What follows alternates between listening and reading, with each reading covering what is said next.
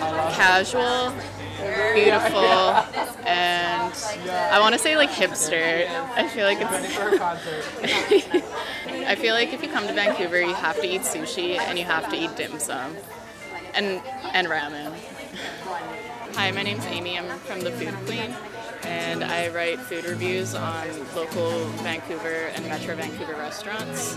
I started my food blog because I was going out to eat a lot to like different restaurants and a lot of my friends and coworkers every day would ask me like where I went for lunch that day and they wanted to know my opinions on it or where they should go for lunch. So it kind of got me thinking about how I could share my ideas and my opinions with a wider audience, and that's where my blog started from. I feel like soft serve ice cream is like one of the new things uh, because of soft peaks, and I, I feel like that's a trend, like a dessert trend that's going to take off.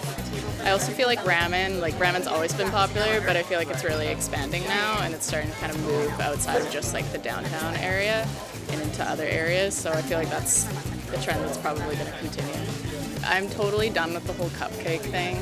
So I feel like that's I feel like that's been dying off for a while and it's kind of on its last legs. Um, as much as I love donuts too, I feel like the, that trend's kind of like plateaued. I still like donuts, but I feel like that's kind of a slowing down trend where it was really trendy like a year or two ago. I'm also an accountant, which I feel like people are always surprised by that I work in a completely different industry. So yeah, I would say that I'm also like good with numbers and in addition to like writing and reading and the more creative side.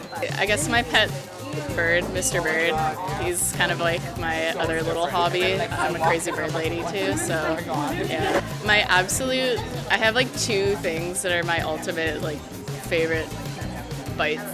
Um, the piece of seared tuna toro nigiri at Sushi Kanazato.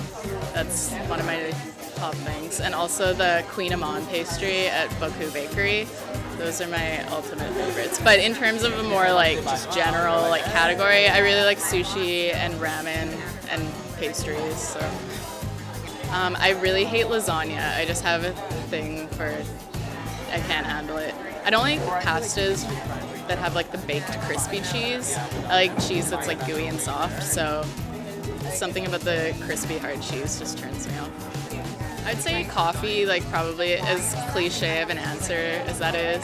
Like it definitely gets me through the day, and it's something that I just enjoy, like trying different types of coffee, preparing it different ways. I got a French press recently, so I've been really into my French press. Last night I made these burrito bowls in a slow cooker, except it didn't turn out exactly how I wanted it. It was a little too moist, but I just put a bunch of guacamole and sour cream on top, so it tasted pretty good.